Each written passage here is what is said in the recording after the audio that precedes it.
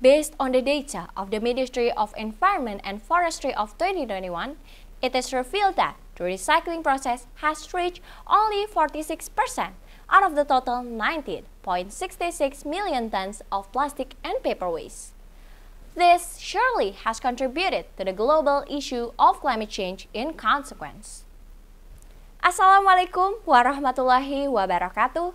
The honorable judges, my name is Nur Syifa Nadiastuti I feel deeply honored to stand here as a Mawapres student of Universitas Negeri Jakarta to deliver an informative speech about SDGs number 13, Climate Action. Ladies and gentlemen, addressing the above-mentioned circumstance, a question may be elicited. Why does the paper recycling rate remain low? Yet there has been technology in abundance that can be used in support of the pulp and paper industry to solve this problem. Well, think about being the agent of change. So here I am to propose the idea of paper waste management that will not only lead to the reduction of the paper waste impact, but also to incredibly increase the value of the waste itself.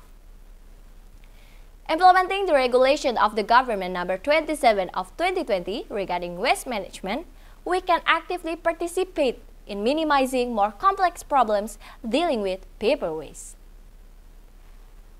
Technologically, paper waste can be managed in a more effective and efficient manner. I was thinking of having a sort of platform designed unifiedly to serve two major features, namely connection and marketplace features. Now, let me first explain about the connection feature. The connection feature provides a drop box for various stakeholders involved in the recycling process that allows people to drop their paper waste by inputting such data as specification, quantity, pickup location, contact person, and picture. From the data, it will help the other stakeholder track the waste down to meet the needs and later pick the waste up. A transaction occurs as dropping and picking up activities work well.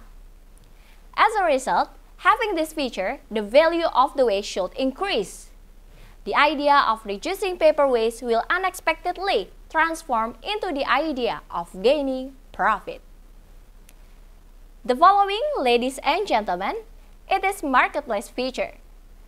This feature provides a marketplace so that the community can buy and sell goods or products made of paper waste. For example, second-hand books, crafts, and others. Similar to the former, this feature will put the items into certain products categories. That is the buyers or sellers to seek what they want to have. This marketplace can uniquely visualize and measure potential goods and products by using augmented reality. It certainly promotes creativity and entrepreneurship, encouraging individuals to see value in materials that would otherwise be discarded. Both features are basically a breakthrough in paper waste management to gain value added. Thus, it is absolutely possible to manage the paper waste by optimizing technology in order to improve the quality of the waste itself. Ladies and gentlemen, Implementing this idea nonetheless requires cooperation from various parties, including community, industry, and government. The two former serve as the agent directly involved in the paper waste management, whilst the government serves as the policymaker to support the innovation, for instance, the license, regulation, and other do's and don'ts.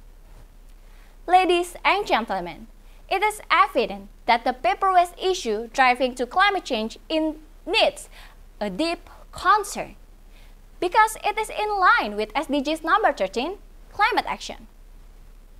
The paper waste management is a real implementation of being an agent of change. So, having the platform I recommended will be the evidence how I can bring up the technology in this paper waste management. Thank you.